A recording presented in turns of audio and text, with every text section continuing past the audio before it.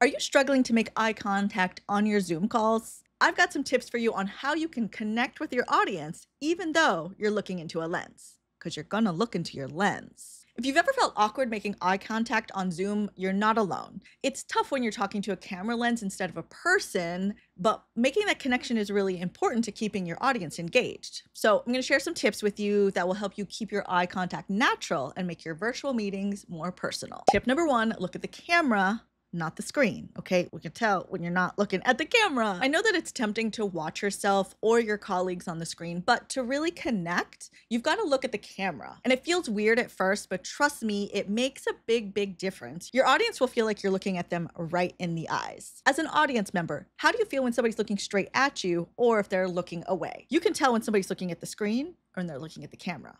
Tip number two is to place your notes strategically. You need notes? No problem. I use notes all the time. Just don't put them so far away from the camera.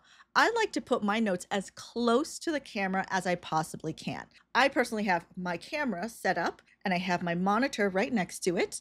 I will put my notes as close to the camera as possible. If you don't have the monitor, write them on a sticky note and put it as close to the camera as you can. And that way, when you glance at your notes, it still looks like you're maintaining eye contact.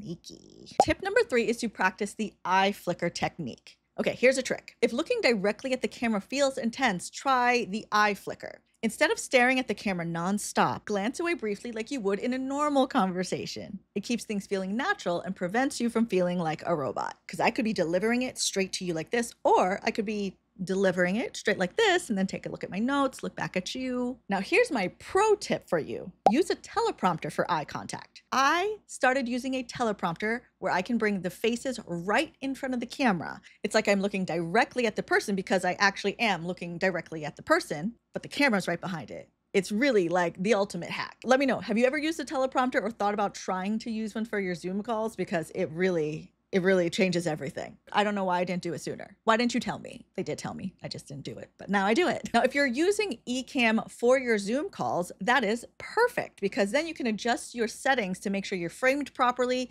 You can have a good eye level. You can make sure your face is well lit, and it's easier to keep that connection going when you know everything looks great.